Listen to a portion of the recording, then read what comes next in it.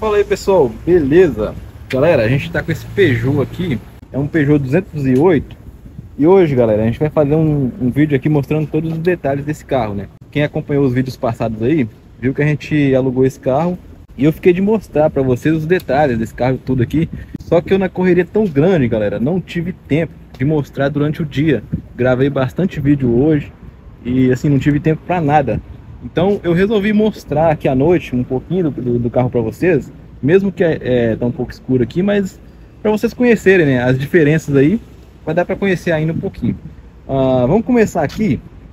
Uh, uma das diferenças que vai ter dessa versão aqui, que é o 208 Allure, é, vai começar pelas rodas, né? Ele vem com essas grafias diferentes aqui, ó. Vocês podem ver as rodas do Active que a gente pegou no canal aí, é, são rodas diferentes. Então, uma das diferenças são essas. A outra diferença vai estar aqui na chave, né? Na versão Active, não tem a chave presencial, que é essa aqui, ó. Aqui está a versão dele, deixa eu ver se eu consigo mostrar.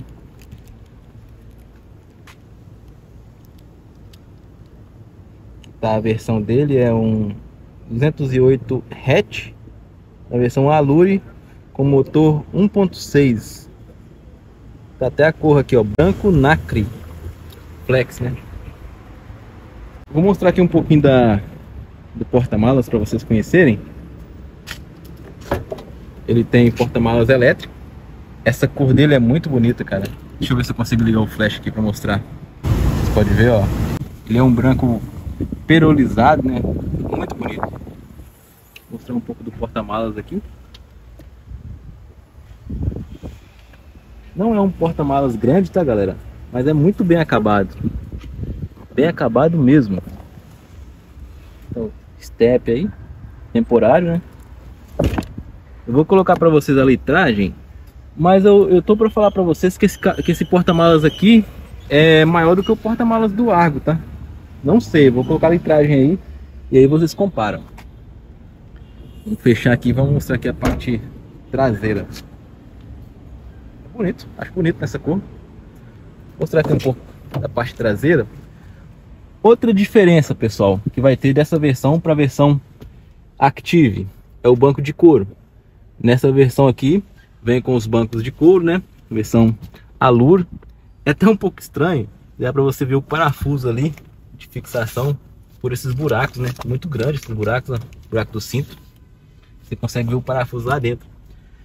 Uh, aqui atrás, o, Peugeot ele não tem tanto espaço, para falar a verdade.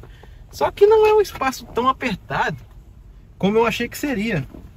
Você, claro que esses encostos aqui, nossa Deus, encosto aqui tá pegando no, no, eh, na minha, as minhas costas aqui, ó, tentar mostrar para vocês.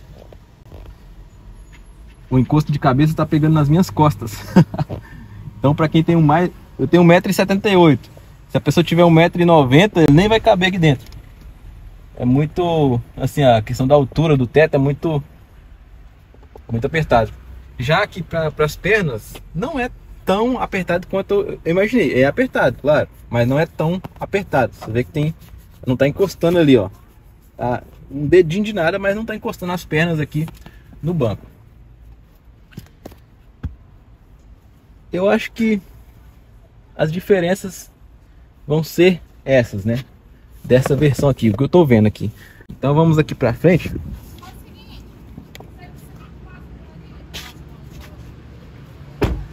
Para eu mostrar para vocês aí as mais diferenças, né? Ele tem umas portas bonitas, assim, um design bem legal. É tudo plástico duro, né? Mas tem um design bem legal aqui. Imitação de fibra de carbono, imitação de black piano. Aqui tem um, como se fosse um aço escovado, né? Um alumínio aí. Os bancos são bem legais aí, banco de couro, tá vendo? Pena que não deu pra gente mostrar pra vocês durante o dia. Seria legal mostrar. Vamos entrar aqui pra gente mostrar aí o painel, né? Bom, galera, uh, como eu já falei pra vocês, ele tem é, o sistema de start-stop. Você pressiona o botão aqui já liga. E aqui na frente ele vai ter aqui essa multimídia, né? Que é uma tela bem grande, essa multimídia. Inclusive, galera, essa multimídia ela é diferente daquela versão Active que a gente pegou. Eu não sei se atualmente é, se mudou isso aí nas versões Active de hoje em dia, né? Mas nas versões aí de 2021, 22, não vinha essa multimídia grande aí. É, é uma diferença, eu não sei se é questão de atualização de ano ou se é de versão. A gente já pegou uma outra versão Allure desse carro que tinha também a multimídia mais pequena, né? Nesse caso aqui é maiorzinha. Uma outra coisa, ah, na versão Allure que a gente pegou um tempo atrás, vinha o carregamento por indução aqui, nessa parte. Você pressionava, aqui tinha como se fosse uma tampa, né? Você pressionava e colocava seu celular para carregar. Nesse aqui já não vem o carregamento por indução. É uma coisa que foi retirada aí, né? Pelo menos ne, nesse, nessa unidade aqui. Não sei se é uma questão de opcional ou algum, alguma coisa do tipo, mas não vem. Ele tem duas entradas USB, uma para carregamento, a outra para Android Auto e Apple CarPlay, que é essa do lado aqui. Mas ele também, galera, esse carro ele tem pareamento com o Apple CarPlay sem fio. Então você não precisa do cabo para estar tá pareando, tá? Você pode conectar aqui seu celular via Android Auto ou Apple CarPlay sem fio. Então é uma central bem, bem legalzinha. Aqui está até conectado no meu outro telefone, né? Aí tem as funções aí do Android Auto que você pode estar tá usando aí. Bem legal. Ah, a gente vai ter aqui porta-luvas grande também, só que não tem iluminação nem acabamento. Painel desse carro, computador de bordo. É um computador simples, vai ter as funções, deixa eu tentar mostrar para vocês aqui. As funções aí básicas de autonomia, consumo instantâneo, aqui para poder mostrar a partir do momento que eu zerei né, a minha viagem. Consumo médio, tá ali bem, bem baixo para falar a verdade. E aqui volta pro tripiar, né? Quando você zera aí. Ah, no, no, no, volante aqui ele vai ter uns controles aqui, né? Controles básicos aí. Controle de aumentar volume, comando de voz. Aqui para mudar ali o computador de bordo, você pode controlar tanto por aqui por essa rodana quanto por esse botão aqui. Aqui a gente vai ter controle de mídia, né? Para você mudar a música, mudar a rádio e tal. Os controles aí de som e atendimento de telefone, de controle de mídia. E aqui, galera, a gente vai ter uma alavanquinha para controle de piloto automático. Nesse caso, você girando a rodana para cá, para baixo, ele vai para o piloto automático. Se você girar para cima, ele vai para o limitador de velocidade. E aí tem uns botões aqui atrás você controla aí a velocidade. Ele tem mais dois botões aqui. Você pode acionar ali o, o modo econômico e o modo esporte, né? Com esses dois aqui. Você pressionando aqui, ele vai dar uma, um S ali para indicar que está no modo esporte. E se você pressionar aqui o modo eco, ele não aparece nada ali, porém fica uma luz verde aqui. ele já vai mudar aí o, a, a programação do câmbio, né? Então são essas as funções. Farol, são faróis normais, não tem nada de farol de LED aí, é somente ah, o DRL que ele tem aquelas garras ali, que eu já mostrei para vocês. Ele tem aquele DRL ah, das garras do, do, Tigre, né? Mas não tem o farol normal mesmo, é halógeno. Ah, do outro lado aqui a gente vai ter o controle de limpador básico aí também. E é basicamente isso, galera. Aqui na parte superior a gente vai ter a luzinha central. Você pode ver aqui, ó.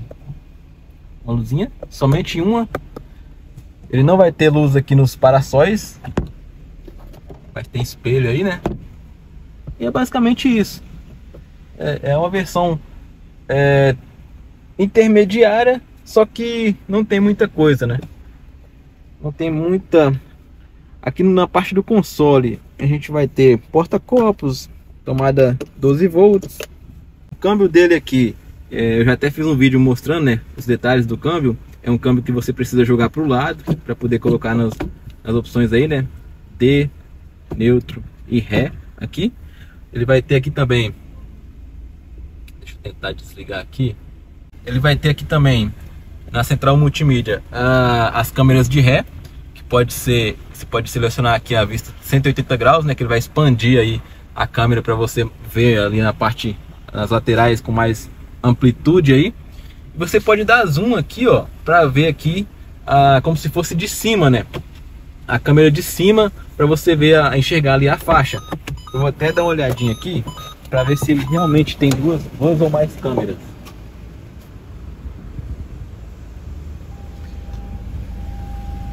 Ah, como vocês podem ver, ó, ele tem somente uma. Tem somente uma câmera aqui. Tem somente uma câmera, mas essa câmera faz todo o trabalho aí, né? Ela tanto é, é, ela me parece uma câmera grande angular. Serve para várias coisas. Ele tem uma programação aí que, que vai meio que esticar a, a, imagem. Não é, não é bem ali duas câmeras ou três ou mais. São somente programações, né? Você pode escolher aqui, tá vendo? Aí ele no via, via software ele faz essas mudanças aí.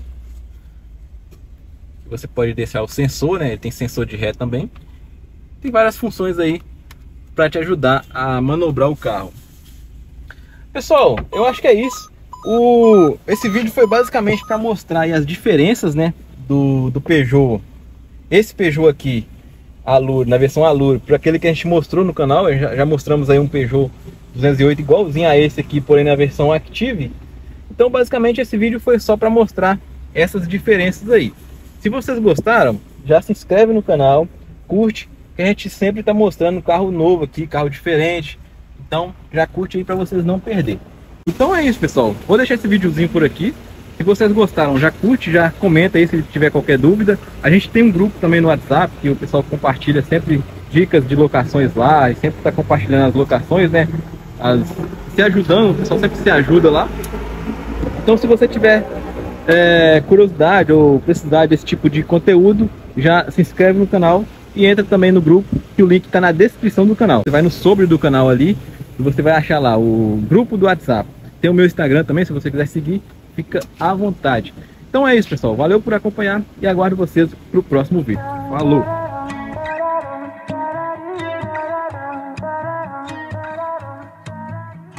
Slow